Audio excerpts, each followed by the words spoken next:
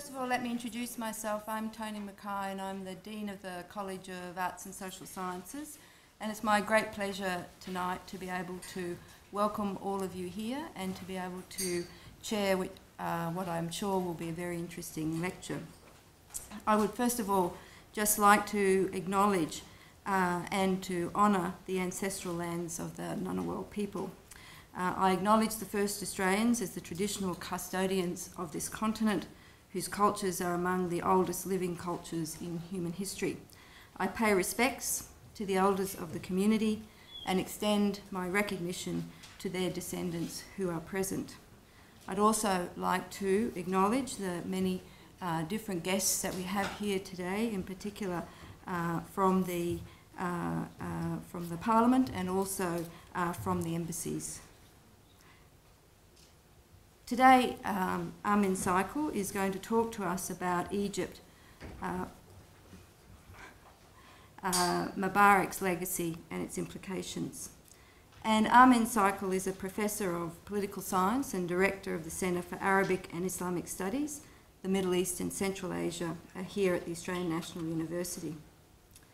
He has had a very distinguished academic career. He's been a visiting fellow at Princeton University, Cambridge University, the Institute of Development Studies at the University of Sussex, as well as a Rockefeller Foundation Fellow in International Relations from 1983 to 1988.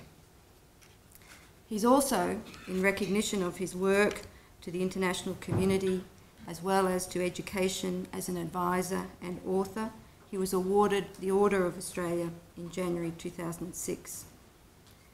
He has been the author of numerous works on the Middle East, Central Asia, and Russia. And just to give you an idea of the type of work that he's done over quite a long period of time, he's had uh, the following major publications Islamism, the Iranian Revolution, and the Soviet invasion of Afghanistan, which was published in Cambridge History of the Cold War just recently in 2010. In 2009, the rise and fall of the Shah, Iran from autocracy to religious rule. In 2006, Modern Afghanistan, A History of Struggle and Survival. And in 2003, Islam and the West, Conflict or Cooperation. In addition to all of that, he's also published many op-ed pieces in a number of national and international dailies, including the International Herald Tribune, the Wall Street Journal, the New York Times, and The Guardian.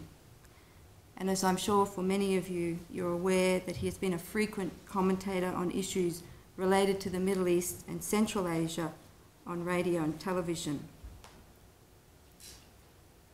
Not only has Amin done all of that, he's also been the foundation director of the Centre of Arabic and Islamic Studies that I just referred to. It is a key and very valued centre in the Research School of Social Sciences in our college. It was established in 1994 and it is now the largest and most distinguished of its kind in Australia. And much of that is due to the incredible energy uh, and enthusiasm and depth of knowledge that Amin has brought to the centre as its director. It enjoys high international standing has links with its major counterparts in the Arab and Muslim world, as well as in North America, Europe, and Asia. It is indeed a centre of excellence in teaching and research in relation to Islam and the politics, modern history, culture, political economy, business, international relations, as well as languages of the Muslim Middle East and Central Asia. So the centre provides both educational programs at undergraduate and postgraduate, and it also does important and very valuable research in this area. It has also provided a pool of expertise for the public and private sectors, uh, as well as commenting in, in the media, but also in strengthening Australia's ties with the Middle East, Eastern and Central Asian domains through both educational links and engagement with government, business, diplomatic missions, and the broader community. And I can't think of anybody else at the ANU, but in Australia, uh, who could talk to us at what is on a topic of what is of very topical interest uh, at the moment. Amin.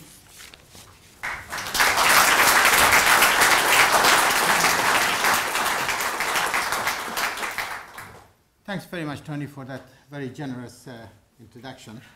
And I uh, thank Toni and the uh, College of Arts and Social Sciences for the valuable support that they've provided us, and uh, not only uh, for the center, but also personally for me. Um, ladies and gentlemen, uh, my brief this afternoon is to speak on Egypt, Mubarak's legacy and its implications.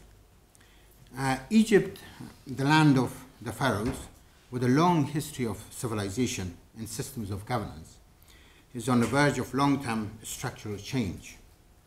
The process may prove to be turbulent, arduous, and painful, but at the end, a new pluralist and participatory order is most likely to emerge, with a serious impact on the Middle Eastern geopolitical landscape. In the face of an unprecedented spontaneous public uprising in the modern history of Egypt, the three decade long Western backed authoritarian rule of President Hosni Mubarak is set to end by September 2011, if not earlier.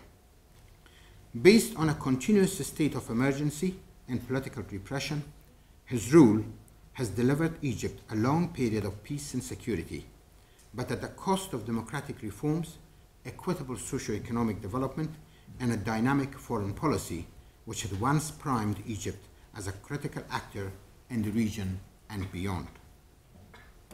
Mubarak has lost his legitimacy at home and credibility abroad. All he is trying to do now is secure a somewhat graceful exit and thus avoid the fate of two previous Western backed Middle Eastern autocrats the Shah of Iran, and Zainal Abidin bin Ali of Tunisia, who were driven out of their countries in, in humiliation by their people 30 years and three weeks ago, respectively. Whatever Mubarak's fate, he is no history as far as I am concerned. But the Egyptian people face difficult choices and priorities fraught with unpredictable developments and managing their country's transition. This also confronts the United States and its allies, and Israel in particular, with serious quandaries. As for the other authoritarian Arab regimes, the Egyptian uprising must once again demonstrate to them that ultimately there is no reward in hanging on to power through dictatorial means. Following the toppling of Ben Ali in Tunisia on 14th of January, the head of the Arab League in Egypt's former foreign minister, Amr Moussa, said, the Arab soul is broken. Speaking at an Arab economic summit in Egypt, he blamed poverty, unemployment, and general recession. He stated that the Tunisian revolution is not far from us and warned that the Arab citizens have entered an unprecedented a state of anger and frustration, which could only be addressed by an Arab renaissance.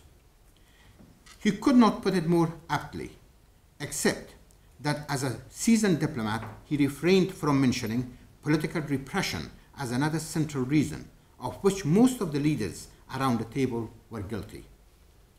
The 82 year old Mubarak was among those leaders, but he appeared so confident of his rule that he did not make reference to the Tunisian revolution, let alone digest Amr Moussa's warning.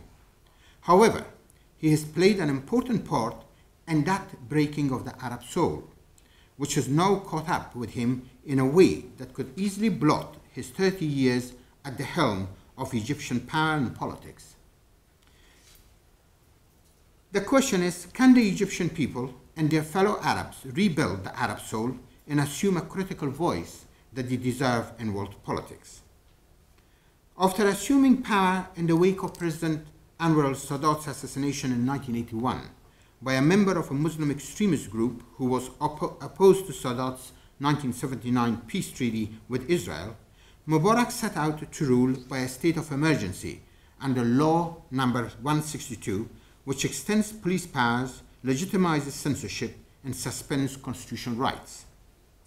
Contrary to promising a kinder and gentler government, he strengthened the authoritarian system of party bureaucratic security governance, which had been established to a large extent under his two predecessors, Sadat and Jamal Abdel Nasser, who overthrew Egypt's pro British monarchy and declared the country an Arab nationalist republic in 1952. Mubarak stubbornly refused to recognize that such a model has always been doomed to failure and has resulted in political and socio-economic stagnation and foreign policy debacles.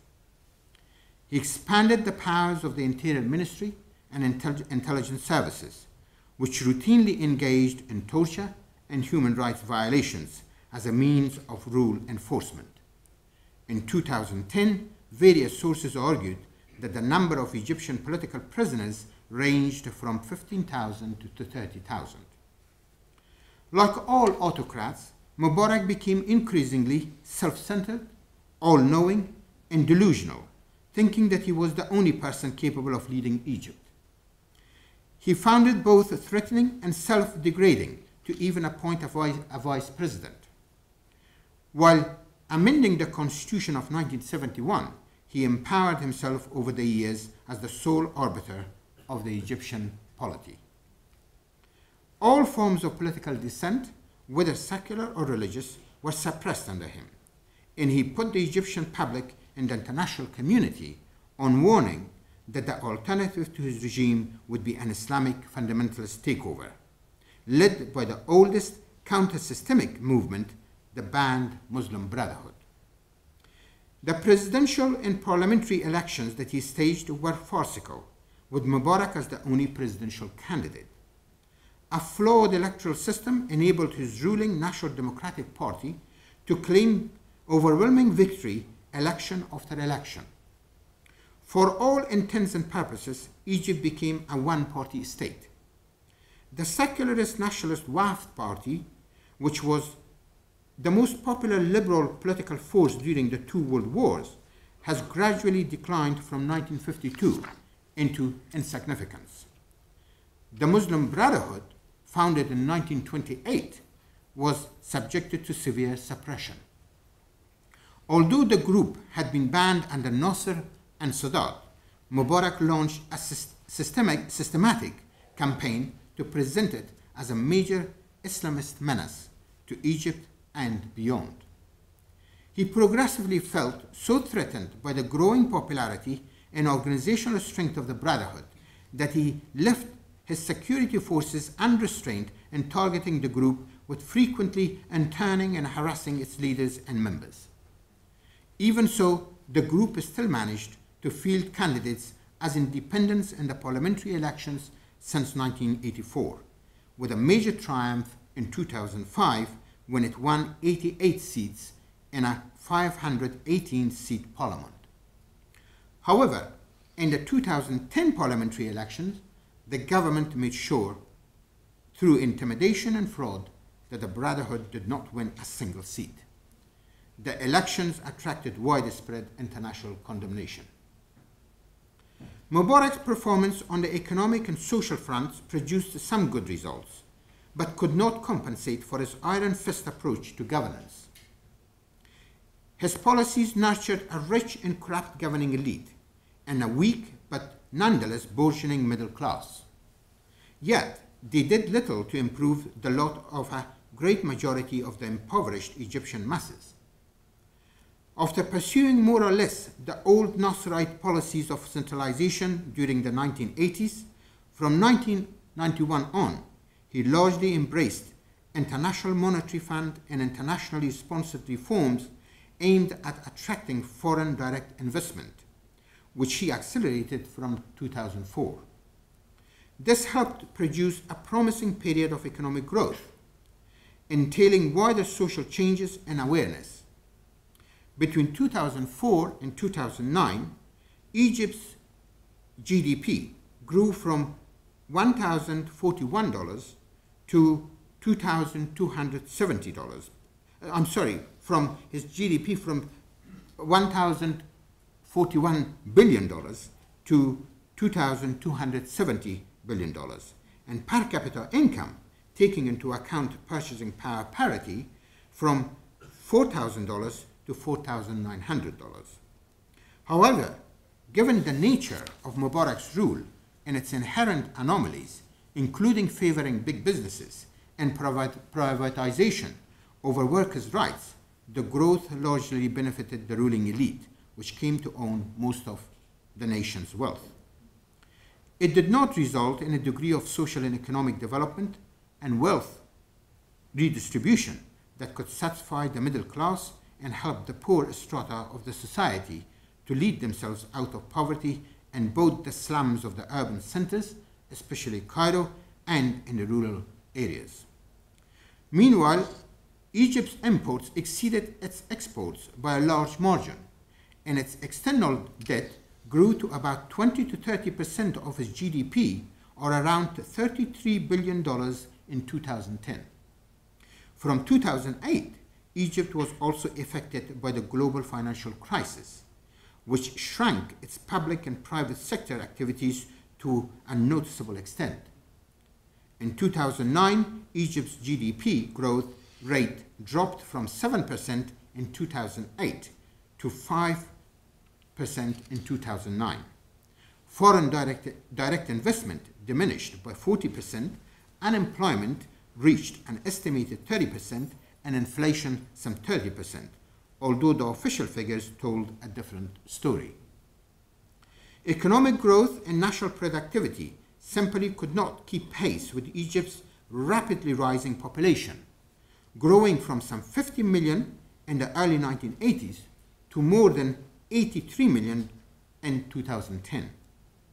From 2005 to 2010, the percentage of Egyptians that considered themselves as thriving with a positive view towards their current life situation and the future fell from 29% to 11%. An outcome of the rapid population growth has been serious demographic changes. Today, some 70% of Egyptians are under the age of 30. As more people graduate from upper secondary and tertiary educational institutions, there has not been sufficient and relevant employment opportunities, and democratic safety valves in terms of greater participation to divert them from becoming more frustrated with and alienated from Mubarak's leadership. Mubarak seemed to be insensitive to the growth of gulf between the ruler and the ruled and between the state and society. To a majority of the Egyptian public, all he seemed to care about was himself, his family, and his ruling apparatus, with a burning desire to crown his son, Jamal, to succeed him, and thus transform Egypt into a republican monarchy. In foreign policy, he could not carry many Egyptians with him either. He religiously upheld Egypt's peace treaty with Israel and strengthened the country's ties as a loyal ally with the United States. He considered both as critical aids to his rule. Peace with Israel meant not only being free of any costly conflict, but also more financial and military kudos from the United States. America's roughly $2 billion assistance per year proved to be critical for him to keep his military and security brass, as well as key administrative personnel content. He publicly supported the right of the Palestinians to an independent state of their own and opposed expansion of Israeli settlements in the occupied Palestinian territories. However, he balanced this with a quiet policy approach that assisted Israel in playing off the Fatah-led Palestinian Authority, which has been in charge of the West Bank, against the Islamist Hamas, which has controlled Gaza Strip since middle of 2007. And he also assisted Israel in enforcing an illegal blockade and collective punishment of the people of Gaza in order to undermine the rule of Hamas as quote unquote terrorist organization. Like Israel and its international supporters, he chose to overlook the fact that Hamas won the January 2006 Palestinian general elections democratically. Beyond this, he concurred with Jerusalem, Washington, and London on Israel's devastating though unsuccessful, military campaign against Lebanon in order to destroy the Iranian and Syrian backed Hezbollah in 2006. He certainly opposed the 2003 US led invasion of Iraq, but fully cooperated with the Bush administration on rendition and torture. In all this, he sided with the conservative Arab forces and dampened Nasser's policy of Arab nationalism even more than Sadat had done.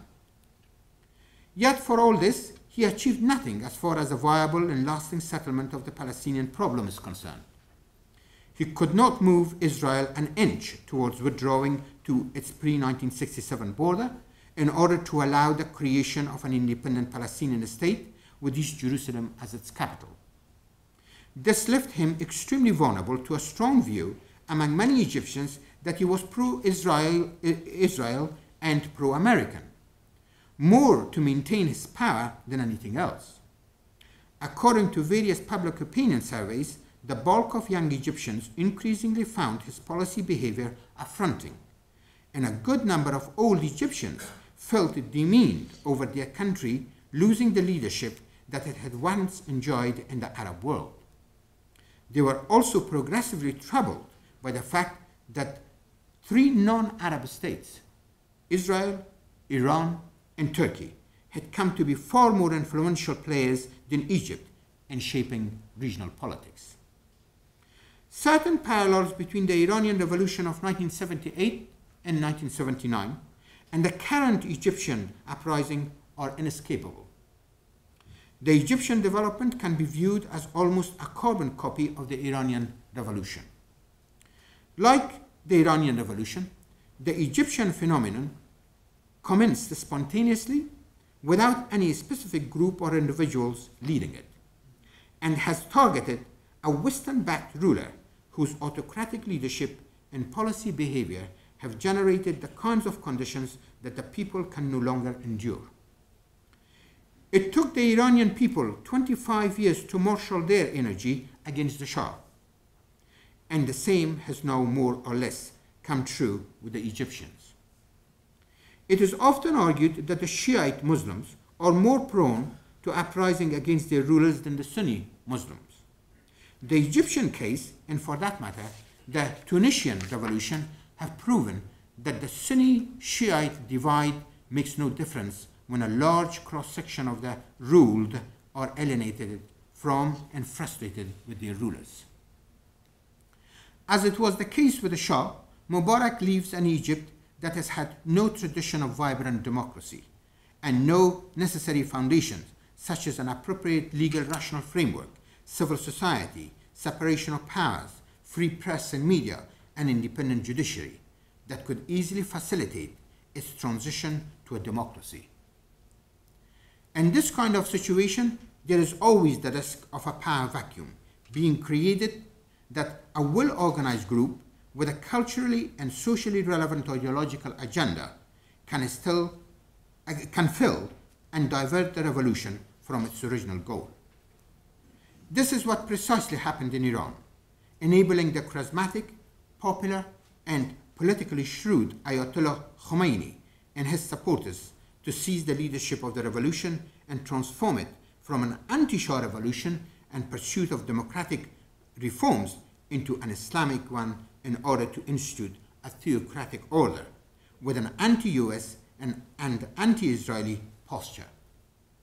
Khomeini drew on the anger of the Iranian people over America's support for the Shah, the Shah's close relationship with Israel, and America's unqualified backing of Israel to achieve his Islamist objectives. Washington's failure to back away from the Shah's rule until the 11th hour and to support the democratic forces which had initially spearheaded the revolution, played an important part in helping Khomeini and his supporters to triumph, and in sowing the seeds of a US Iranian hostility that continues to the present day at much anxiety for Washington and Jerusalem.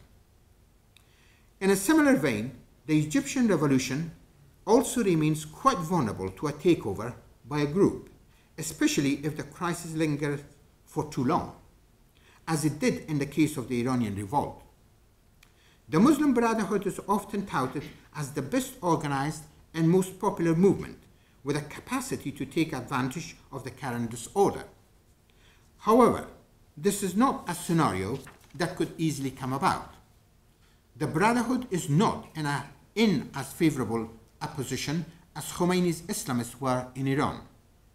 Despite all the fuss made about it by the Mubarak leadership, the Brotherhood is a divided and relatively small movement. It is made up of a spectrum of Islamists ranging from radicals to conservative pragmatists and moderates, with the latter two categories constituting possibly the bulk of its membership. As such, it's divided into various factions, with no charismatic and popular leader like Khomeini to command them as a united front.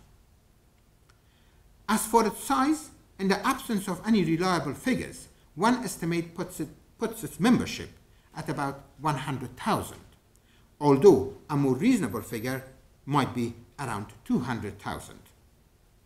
Whatever the size of its membership and overall influence among the public, it does not currently possess the necessary standing to act as the dominant political force within Egyptian society, which partly explains why it has not played a leading role in the current uprising.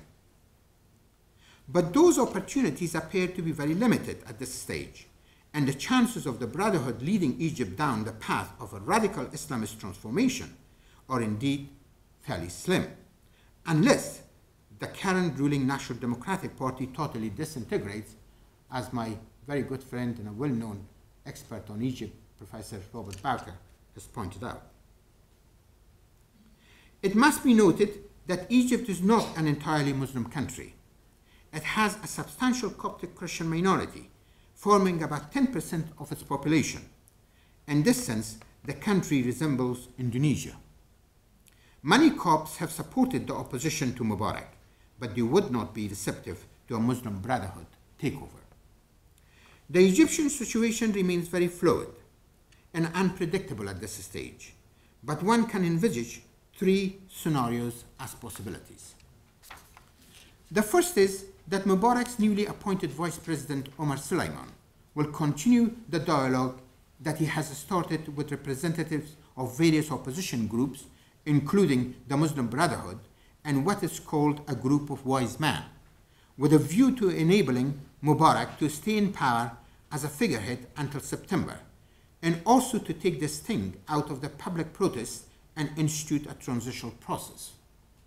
However, so far Suleiman has not gone far enough in his concessions, either to satisfy the protesters in the Tahrir Square or gain the confidence of those with whom he has been negotiating. The opposition remains highly skeptical of Suleiman, given his past unsavory record as chief of Egyptian intelligence and the WikiLeaks' latest disclosure that he is Israel's favorite, uh, favorite to succeed Mubarak. Yet, the door remains open to further negotiations.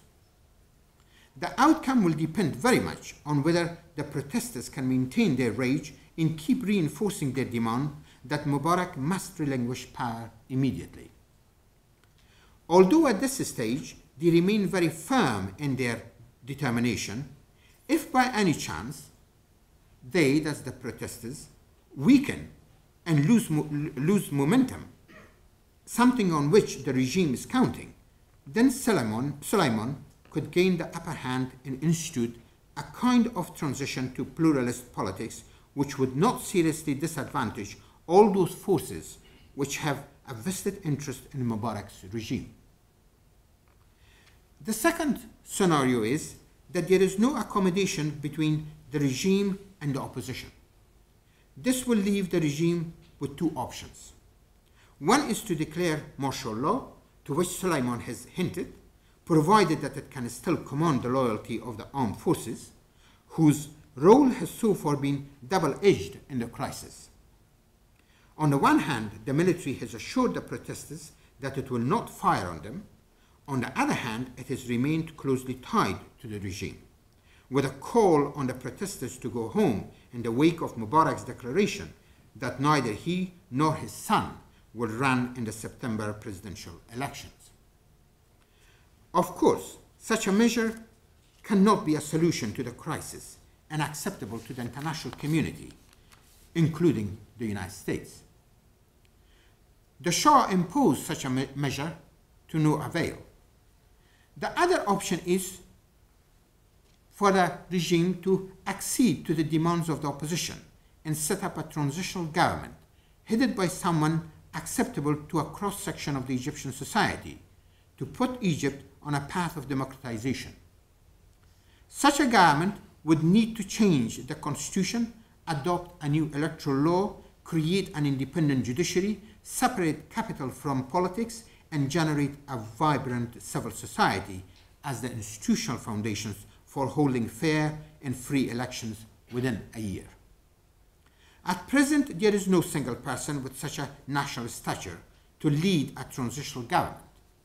However, two figures who have the necessary qualities, and comes immediately to mind, to act as nationally unifying and acceptable persons to a considerable extent are Amr Musa, the current Arab League Secretary General, and the former head of the International Atomic Energy Agency and Nobel laureate Dr. Muhammad Al Baradei. Although Al Baradei does not have a record of long service in Egypt, he has been at the forefront of the present protests and holds a more impeccable reputation than that of Amr Musa, who served as Mubarak's foreign minister for many years. Under the circumstances, even some prominent elements in the Muslim Brotherhood have suggested that one of these two individuals may be acceptable to them to lead a transitional government. The third scenario is that neither side gives in to the crisis to open the way for a viable resolution. In this case, Egypt could easily slide into a state of perpetual conflict, violence, and bloodshed, with its economy in tatters and status structures weakening or even crumbling. This is not what the secularist opposition forces want, and it is not something that would serve the interests of the ruling elite either. But it could widen opportunities for a Muslim Brotherhood, especially its radical faction, to gain more ground.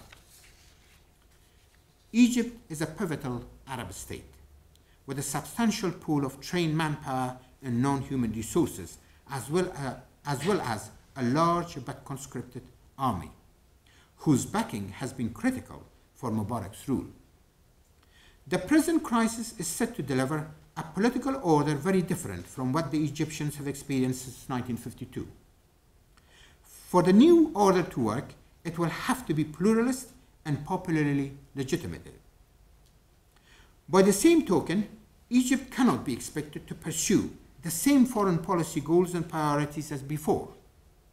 With so much public dissatisfaction over Mubarak's relations with Israel and the United States, the new Egyptian government may well find it imperative to rationalize these, these relations to the extent necessary to satisfy various political forces, including the Muslim Brotherhood, which has opposed Egypt's peace treaty with Israel and close ties with the United States, whose support would be necessary for the workability and legitimacy of this government.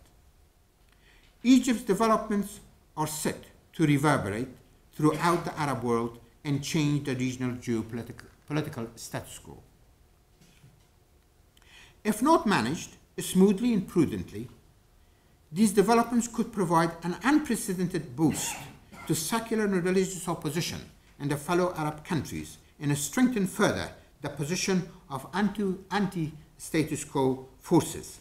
Most importantly, the Iranian Islamic regime and its sub-national allies in Iraq and Lebanon in particular. They could equally leave Israel regretful over having not acted seriously in pursuit of reaching a viable settlement with the Palestinians while Mubarak was in power. The Arab countries where authoritarian regimes are at risk most are Yemen, Jordan, Algeria, and Morocco.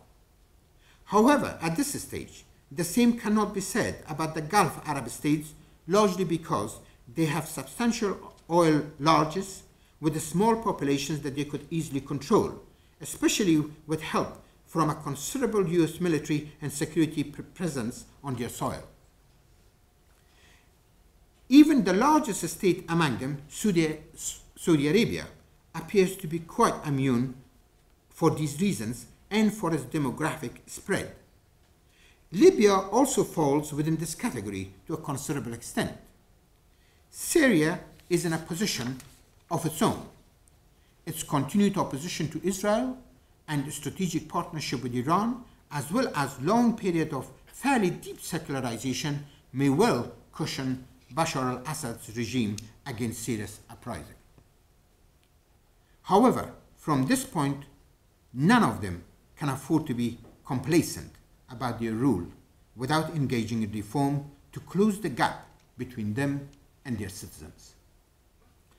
The Obama administration has obviously recognized the significance of the Egyptian uprising and its implications. Hence, its emphasis on reform and meeting the aspirations of the Egyptian people and not going back to what had existed prior to the present crisis. In this, Obama has acted more shrewdly than the Carter administration did in relation to the Iranian Revolution. However, the challenge will be whether Washington and its allies, more specifically Israel, will be ready to embrace any outcome if it is going to be a result of democratic processes, and whether they will support similar developments to take roots in other Arab states. The United States and its allies do not have a solid record in this respect. And therefore, do not inspire much confidence in their ability to manage this, the current crisis. They refused to recognize the outcome of the Palestinians' democratic elections of January 2006 and sided with Israel in punishing the Palestinian people and the party, that's Hamas, for which they voted. Thank you very much.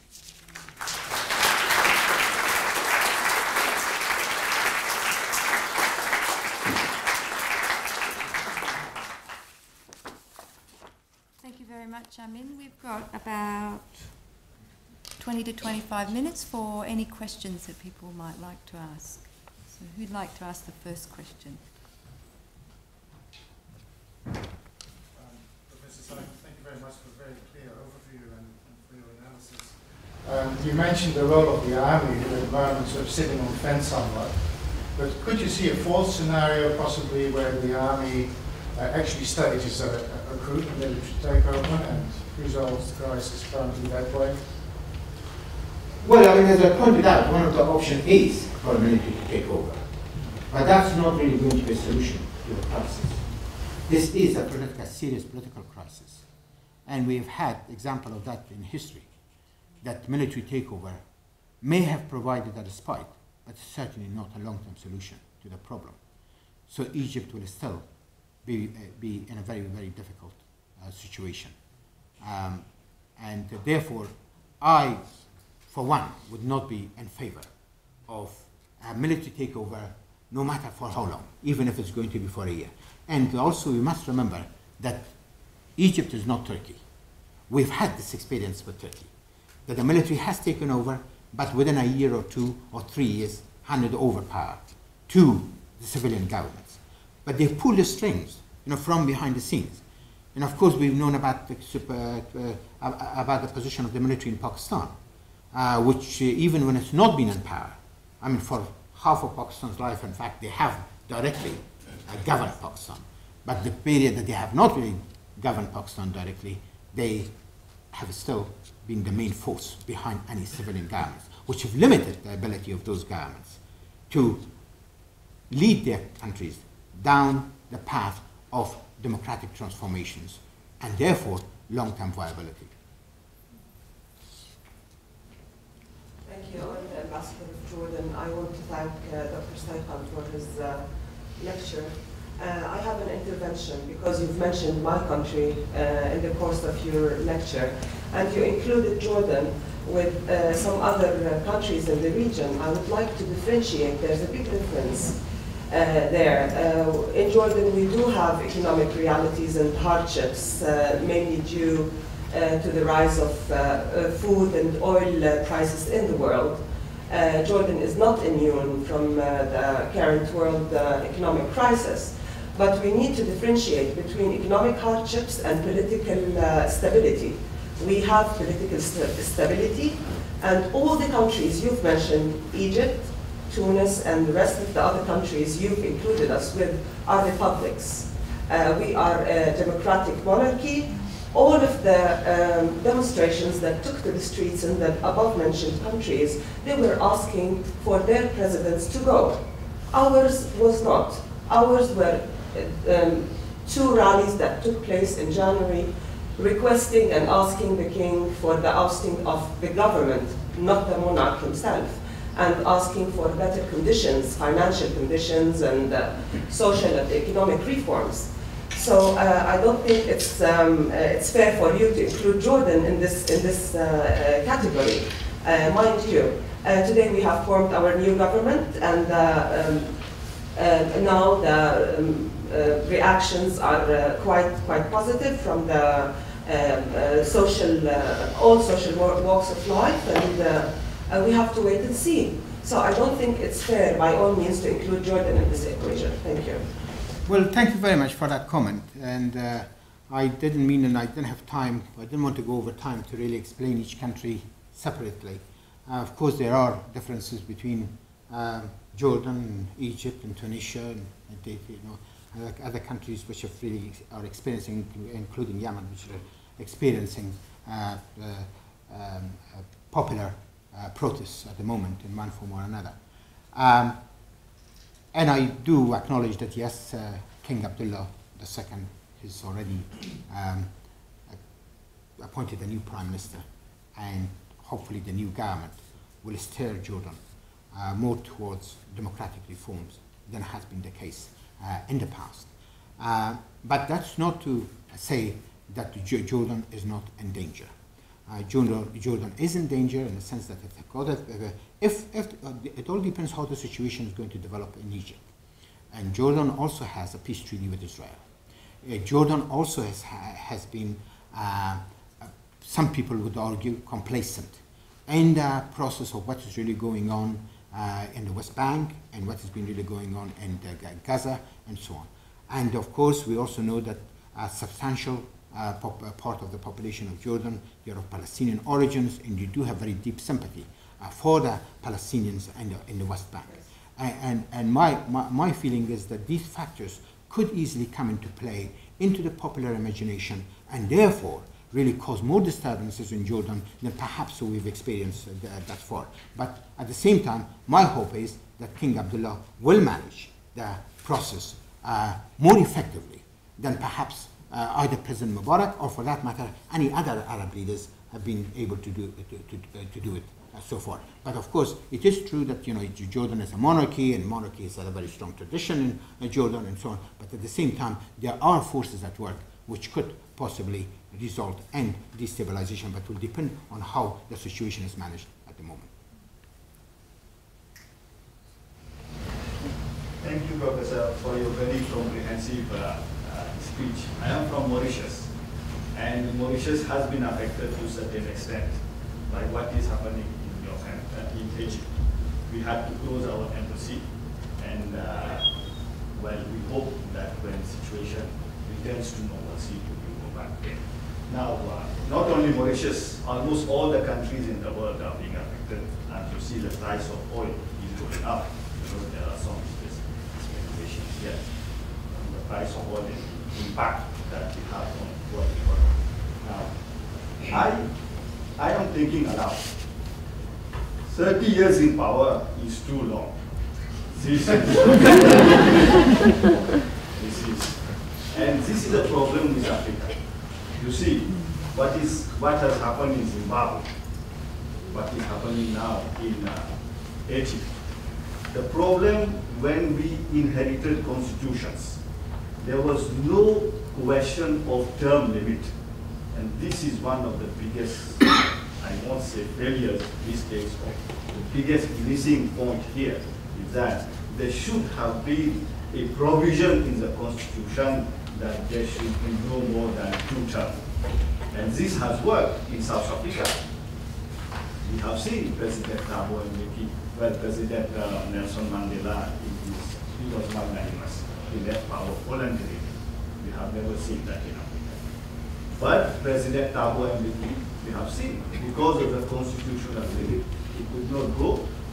And then we have a new president, and now, in the beginning, they were saying, okay, South Africa will go down the drain, but what has happened? Nothing. Instead, the economy of South Africa and the rand has gone up. So my, uh, my question to you, uh, Professor, what is your assessment if President Mubarak goes, you know, a, a dignified exit, all party conference comes to play and try to bring a new constitution or to bring an amendment to the existing constitution with this constitutional limit to presidency. Well, I think that is important, and I think constitutional limits will have to be imposed on the rulers or on the, uh, on the leaders. Um, and uh, one of the things which has become a very common joke in the Arab world is that uh, uh, the leaders there rule by kursi. That is, you know, that they come to power and they hold on to their chairs, you know, for, for as long as possible. Then at the end, they either die in those chairs or they're deposed or driven out of their country.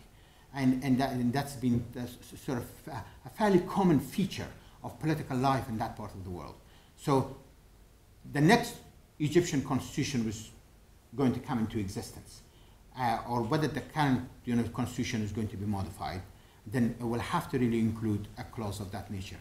Um, and I must really say that uh, some people now claim that perhaps uh, in Central Asia and in the Middle East there are only uh, uh three democracies uh, Israel, um, Iraq, and Afghanistan. But let me put in, at least in relation to Afghanistan that it, it, is, it, it, is not a kind of democracy that perhaps a majority of the Afghan people could enjoy and could really embrace. I mean, there is also no uh, constitutional limits on the terms of the president. And the president is in a position to modify the constitution if he wishes to do so in order to stay in perpetuity. So that even there, there is a great deal of danger. Thank you for your um, for your presentation. My question is, I think it, it, might be an understatement to say that many people in the Middle East, especially Egypt, would be slightly frustrated towards the West. On one hand, promoting democracy, but on the other hand, supporting dictators like Hosni Mubarak. So my question is, if there is a democracy in Egypt in the near future, and not the, I'm not talking about the Muslim Brotherhood, but a government that really is representative of the average Egyptian comes into power, do you think that the foreign policy of that government towards the West will be will, will be pragmatic, or do you think it will it will be aggressive like Iran? I think it's most likely to be pragmatic. I mean, you know, Egypt in many ways is different from Iran and the Egyptian people, their character, and their culture, on. They're, they're very different from the uh, Iranians in, in, in, in, that respect. Um, but whatever government comes into existence, after the current regime, um, it will have to respond to the composition of that government, which is going to be a coalition government. I don't think there's going to be a single force which will be in a position to take over the government in, in Egypt. Uh, and therefore, the, it will be composed of various elements. And the Muslim Brotherhood, uh, whether the international community likes it or not, is going to be a player and this government will have to respond to some of the demands of the um, Muslim Brotherhood. And one of the things that the Muslim Brotherhood wants is rationalization of its relations with Israel and the United States. It really doesn't want the, uh, the, the, the, the, new government to conduct business uh, as usual. And, and, and I think for that reason, I expect the foreign policy of the post-Mubarak government would need to be somewhat very different. But that is not to say that they're not going to be pragmatic. Even the Iranian regime, which we all feel is terribly ideological, well, not really. They're only using ideology whenever it really suits them. But beyond that, they are very pragmatic. They know what they're precisely doing. They, uh, they, are, they are into the business of regime preservation. They are into the, uh, uh, uh, the business of leadership preservation. And, and they do engage and all sorts of political games in order to achieve this objective. So I would imagine, uh, and I would expect, that a government coming to power in Egypt would have to exercise pragmatism on the one hand and respond to the needs of a coalition or an alliance of forces which would form that government. I mean, we are facing it at the moment in Australia. I mean, our government is a coalition government, it's a minority government with the support of the independents. And we know that how much they have given to the independents in order to maintain that government. So the same sort of thing could be applicable to a post-Mubarak government in Egypt. Professor. Well, I, I was born in Egypt, and um, I'm not 30 years old yet, and I've only seen one president, and it seems very soon I'll lose You're very young. it seems very soon I'll lose, I'll use one word in my vocabulary I never used, the word ex-president, you know? So, something very, very good. I, I just li- like to, uh, I guess, I, I'm not obviously in the administration, I'd like to bring the feeling of what's happening there. I, I've been calling, contacting families and, and, and friends. They're all excited. They're all excited. This, this is a moment that they never thought that they would experience in their lifetime. Uh, some thought that they would die before Mubarak. I myself thought I would die before Mubarak. And, and, and it's, just, it's, very good feelings. The regime has hijacked history for its own purposes. I hijacked our civilization. The regime has hijacked science, culture, cinema, everything, all science and art were used to serve the regime. And suddenly people are becoming, you know, expressive about their, their thoughts. Now, uh, my question, uh, Professor, do you think that the uprisings, you know, which is mainly, you know, orchestrated by the youthful Egyptians, will give sort of like a warning to any future regimes that behave yourself, otherwise the Egyptians can do a lot. Whether, whether it's going to be Muslim Brotherhood or the army, whatever sort of regime that's going to misbehave, do you think that this uprising will sort of set, you know, a precedent for any future regime? Well, this was really the hope in the wake of the Iranian Revolution. And, uh, you know, the expectation was that the Iranian Revolution uh, would be a warning to all other dictatorial regimes in the region and beyond. But unfortunately, the Iranian Revolution didn't take the direction which was supposed to. And the result was that actually it uh, sent the wrong message to the um, authoritarian regimes in the region and said that, look, if uh, you have a revolution or an uprising, it could result in a theocracy like the one which is taking place. And of course, in Iran. And of course, uh, uh, quite a number of uh, regimes drew on that very heavily. Now, the, the Tunisian revolution and the Egyptian revolution, uh, it will all really depend on what direction they're going to take. If they do really lead down the path of democratic development in these societies, then obviously that will be a very, very clear warning to all other dictatorial regimes or authoritarian regimes in the region. Either they have to uh, open their fists or are going to face the same sort of popular discontent as Mubarak uh, has faced and as Ben Ali has faced in, uh, in uh, Tunisia. So it, it, it, it will, I mean, as I said, the Egyptian situation is very fluid at this stage. I mean, there are possibilities of different scenarios. But my hope is that it will result in a democratic transformation of Egypt. And that will also assist other countries in the region to uh, embark on a process of reformation. I mean, of course, the process is never going to be easy, never going to be free of pain, never going to be free of violence. But a start has to be made. And it, to me, it appears that the Tunisians and the Egyptians has made that start, but where it's going to really lead, I think that's something that Professor Bauker will answer in another public lecture from our center, hopefully in a few weeks' time. Thank you very much, Professor mm, in, in the third scenario, you mentioned the, the current situation of the of the crisis between the government and the people uh, continues. Uh, it will benefit the Muslim Brotherhood. Uh, can you explain how and why will it just uh, conflict the Muslim battlegrounds? Well, I mean, the crisis goes on. Uh, that could uh, will not only result in a uh, deterioration of the econo- e- economic situation, but also possibly the weakening and the disintegration of the, state institutions which have held Egypt together. And that could result in a, a development of a chaotic situation whereby then a united force with a very radical ideology uh, could come into play, and that is, you know, a, a faction of the Muslim Brotherhood, and therefore promise the people what they want to hear, like as, the, uh, as was the case with the Bolshevik revolution. Of course, it was not a revolution; it was a coup d'état, you know, the Bolshevik coup d'état. But it was Lenin in his uh, uh, cohorts who played a very important role in terms of telling the people what they wanted to hear, which was, you know, peace, bread, and land. And that really uh, uh, went down extremely well. And here is Vladimir Ilyich Lenin, who didn't have much support inside Russia before that, suddenly comes and from, from abroad uh, with, the, with the help of the uh, German money and take over uh, the, the Russia and declares a revolution from the above. You know, that's, that's uh, I, there is always that danger.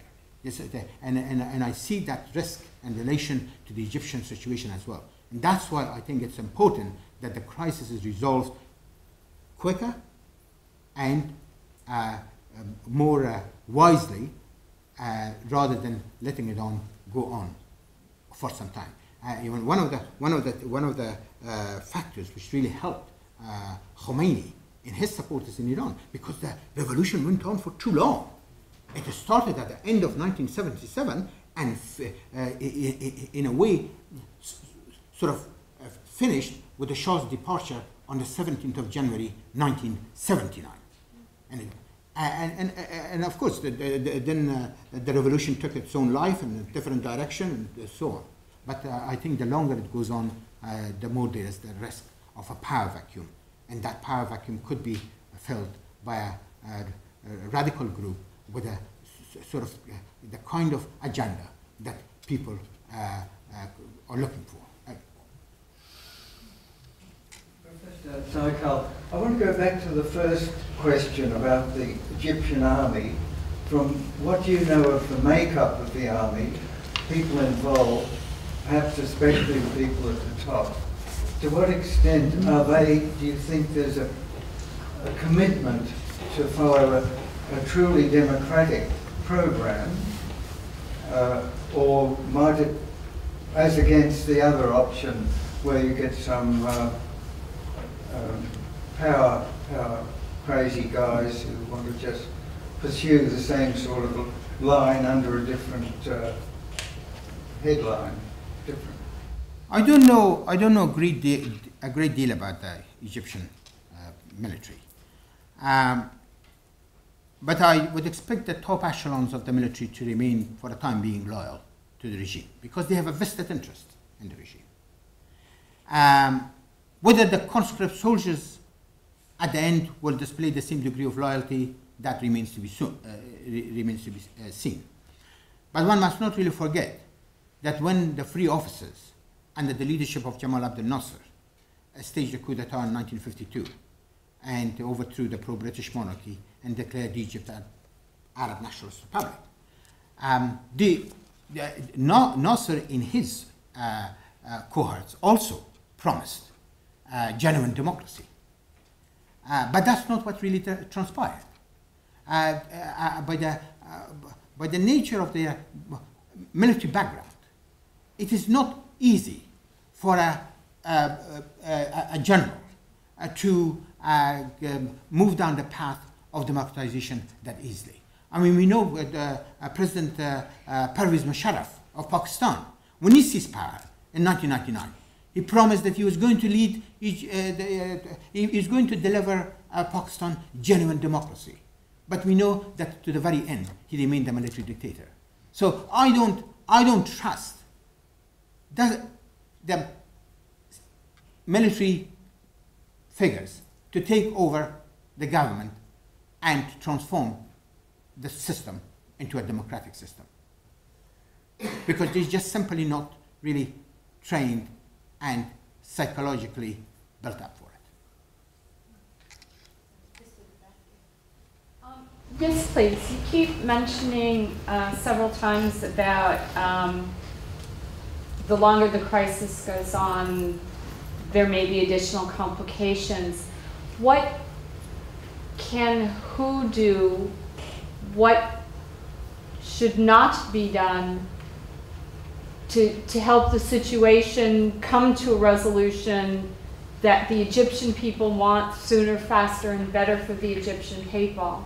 I'm not advocating any external intervention, yet I'm sure external diplomacy, when done properly, might help or hinder things. What, what are some of those variables?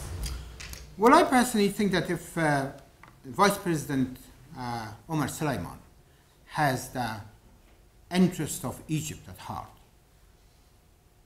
and if, if he does, and he really wants to uh, do a big service for the Egyptian people, then he is in a position to play an important role and opening the way for democratic changes in Egypt. I'm not saying for a minute that he's not limited by people who are around him. Of course, they are, he, like President Mubarak himself, uh, uh, is surrounded by a number of political entrepreneurs and economic entrepreneurs that they would like to really see the current system uh, retaining itself, uh, perhaps in a different form, but, the, but, but would not really change at a core. I mean, that's, that's the whole thing that they would like to do. But, but you have to really balance that against whether Suleiman, and for that matter, some of the people around them. They really think of the future of Egypt. What is really at stake is the future of Egypt. Um, the outside, the outside world, yes, they can play a role, and as I've pointed out, perhaps uh, President uh, Obama's support of the democratic forces, something which uh, President Carter couldn't do it in the case of Iran. President, uh, President Obama uh, could, could play an important role. But that also means that President Obama, in the wake of this, will have to somehow uh, modify the nature of this strategic partnership which has existed between the United States and Israel.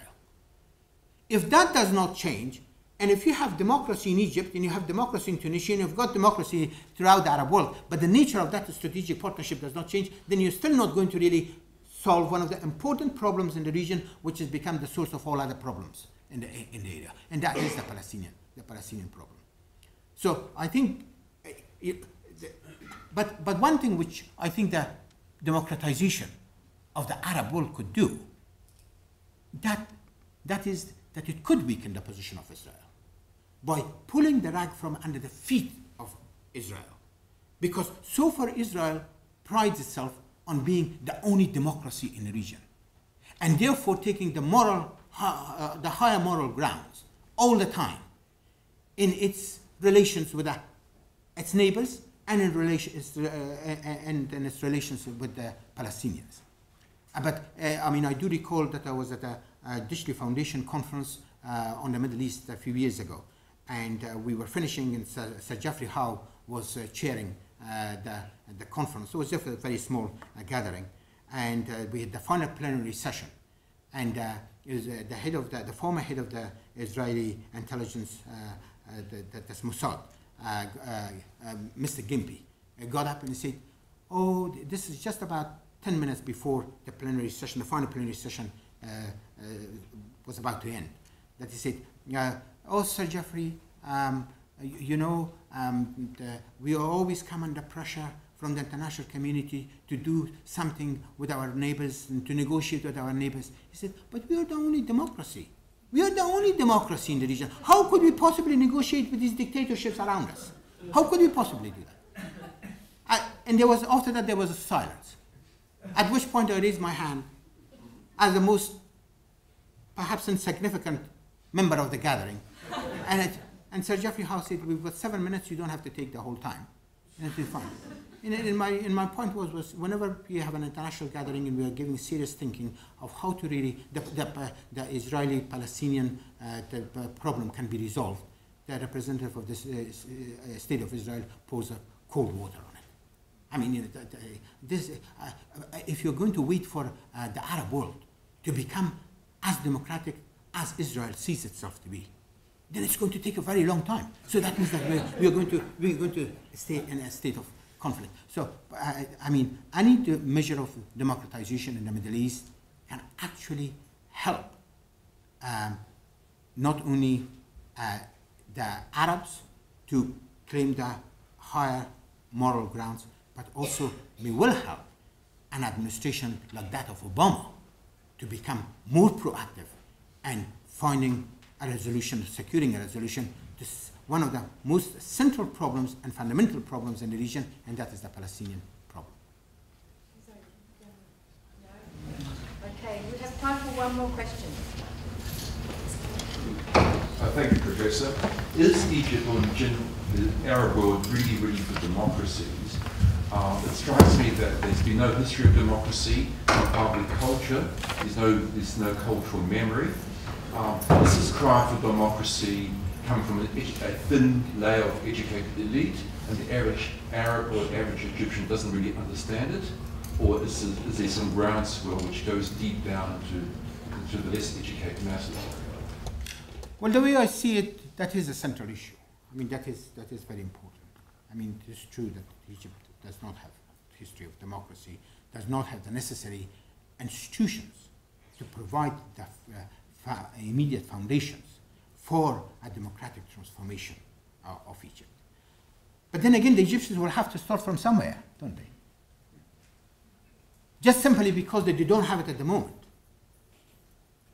That means that they will have to languish within an authoritarian environment forever. So I think at least a movement has begun. And I think, eh, eh, eh, in the way I see it, it is important for the international community to support that movement and not to let it fail. Because if it fails, then yes, Egypt will remain. And what it's been experiencing for decades and possibly centuries. How deep is this democratic wave in Egyptian society? Well, at this stage, to me it appears that while it may not be very deep, but it is important to remember that history and politics are often shaped not by the masses, but by, the individ- by, but by individuals and groups. I do not recall any historical instance where the masses have played a critical role in shaping a society, the direction, the politics of that society. Probably the most genuine mass revolution that you had in the modern times was the Iranian Revolution. But look what happened. It was not really the masses at the end who shaped Iranian politics and Iranian future direction. But rather it was an elite. But the same is really true. I mean, in the case of many other countries. Look at India under Gandhi. It was Gandhi in his cohorts which influenced Indian politics and the transformation of India. Not necessarily the Indian masses. And there are many other instances that we could really look at it. I mean, we could look at. I mean, look at the case of Algeria and gain independence from France. There was a genuine mass movement there for independence under the leadership of Ben Bella. But who did we end up with? Houari Boumediene, a military man who took over and basically established a dictatorship. They, he was the one who really shaped the Algerian politics and the political direction, not necessarily the masses who participated and made sacrifices in gaining independence for Algeria. On that note, finish, uh, and Amin will be here for a little while, so if any of you want to ask some questions, feel free to come down and, and, and have a chat to him. And if I could ask you all to thank him.